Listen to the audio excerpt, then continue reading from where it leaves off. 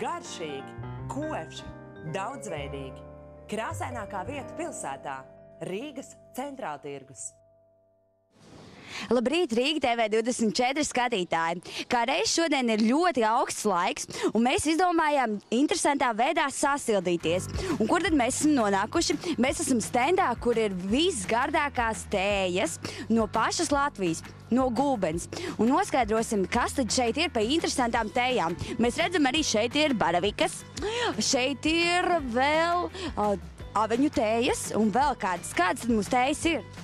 Ну, все, все чаи, значит, они, значит, обогащают организм микроэлементами, да, э, делают человека э, здоровым, веселым, э, значит, с настроением, улучшают э, его жизненные, э, жизненные силы, вот, возобновляют человека, да. Ну и вообще это, как говорится, как что-то новое. Э, обычно чай нам где-то он уже приедается, а такой он, говорится, вспомина- мы вспоминаем им и про лето, что лето бывает, что э, травы, вот запах, вкусовые качества, да. Ну и лечебный эффект тоже очень хороший э, приносит. Tātad aveņu tēja ļoti labi imu- imunitātei, un kā reiz varam atcerēties vasaras garšu un nobaudīt arī aveņu tēju. Bet mums ir blakām kāds eksperts, kurš pastāstīs, kas tad ir šobrīd pa gārdu tēju un ko mēs paši varam lasīt. Labrīt! Nu, labrīt! Lab... Nāciet tik man tuvāk šeit pie tējām! Nu, tas ir šā gada gaļbiksītes. No viņām var taisīt salātus, arī tējai. Vārdu sakot, visu var izmantot sākot ar lapām un beidzot ar ziediem. Un eh, sakiet, noteikti cilvēki arī paši var savākt šīs te gaļbiksītes, bet vai jau uh, šis laiks nav beidzies, vai vēl var lākt? Nē, nē, nē, laiks nav beidzies, bet tikai nevāciet mīļie cilvēki ceļa malās. Tur ir smagie metāli, tā jūs vairāk dabūsiet indi nekā labumu. Skaidrs, un vai ir kaut kāds īpašs veids, kā tad ir jāpagatavo šīs tējas? Jo, piemēram, pērkot aptiekā zāļu tējas, tad tur ir rakstīts, piemēram, trīs minūtes paturām, pagaidām. Kā tad būtu jāpagatavo šādas tējas? šādas tējas viena ēdamkarote un 5-10 minūtes, un viņš pilnīgi pietiekoši viņš ievelkas. Jo jūs vairāk iebērsiet, nu ne jau 5, ne cik karotītes, ja jūs iebērsiet divas karotītes, viņa būs stiprāka un arī tāpat būs ievilkusies. Jā, mēs tikko runājām, kā viņa tēja palīdz imunitātei. Kam tad palīdz gaļbiksīšu tēja? Nu, vielu maiņai, uh, vitamīns ļoti daudz, C vitamīns esot un pēdējā. Literatūrā, ko es lasīju, eh, ļoti atzīta ir gaļbiksīša tēja. Bet es konkrēti uzreiz momentā nepateiktu, kas bija pa vitamīniem, bet ļoti daudz nopērciet uh, avīzi, veselības avīze un izlasīsiet, un jums pat varēsiet visu pagatavot. Salātus, zupas, visu ko. Skaidrs, tad mums iesaka arī iegādāties veselības avīzi, bet man ir jautājums, jūs droši nākat starp tējām, bet man ir jautājums tāds, šeit ir tik daudz liels piedāvājums, ko jūs ieteiktu kādu tēju man, lai sasildītos. Es nācu uz centrālu tirgu un bija augsts un lietains laiks, tad varbūt kaut ko tādu sirds siltumam. Sirds siltumam, nu, avenes, aveņu.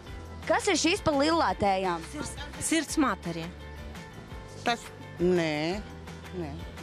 Tik daudz tējas? Tik daudz tējas, ka man jums ļoti grūti pateikt. Jūs variet miksēt dažādas tējas. Varbūt bet... kliņģerīšu tēju.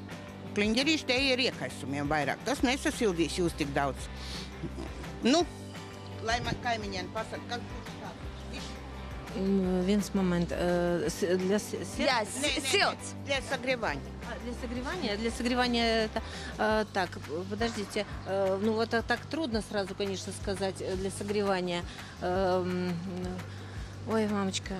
Tik daudz tējas, noteikti visas tējas silda, bet es meklēju tādu īpašo recepti, kas sasildītu visvairāk šajā augstajā laikā.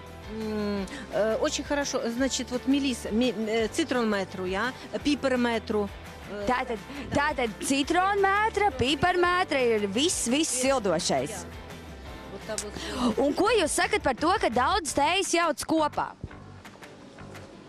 Nu, ko es varu teikt? Nu, jo vairāk būs, jo vairāk būs labuma. Nu, viss, visas, nekas jau tēja tējai nemaisīs. Nu, tikai nelieciet, piemēram, strutenes kopā ar kaut ko. Nu, ir jāzina, ko. Un, un man pēdējais jautājums, sakiet, no kāda atšķirās šīs te tējas zāļu, kas pārdodas aptiekā, un no, tās te, no tām tējām, kas ir mūsu centrā tirgu? Es domāju, ka atšķirība ir tā, ka te ir lielāks iepakojums un lētāk, a tur ir mazāks iepakojums un dārgāk. Nu, grūti man pateikt, kādos apstākļos viņi ražo, kur viņi uzpērk un kā. Ir lietuviešu tējas, viss, bet šīs ir Latvijā. Nu, Latvijā ražo. Tātad Latvijas tējas, un es skatos, arī iepakojums ir 2,50 eiro, 52 eiro, 50 vēlreiz. Aptuveni tās cenas ir ap 2,50 un eiro. Arī tā, tā ir kaulēšanās lieta, arī nu, eiro 50 un eiro 20. Nu, kā, kuram tas ir tikai tā? Nu, var- Jā, mīļš, paldies par sarunu. Lai jums jauka diena un dzeriet arī jūs tējas. Bet es jums, darbie skatītāji, saku tā un skatieties labs ēdiens labiem draugiem jau pulkstenis 12. Uz redzi! Visu labiņu. Nebūsim pasīvi. Jā.